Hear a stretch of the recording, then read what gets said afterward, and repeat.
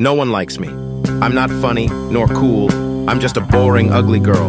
I'll never be perfect. It hurts me knowing I wrote this. It hurts. Knowing that the younger me didn't get what it wanted. Knowing all I've become is a worthless piece of shit. Forgive me, little me. Please hang tight. Please know I love you with all my heart.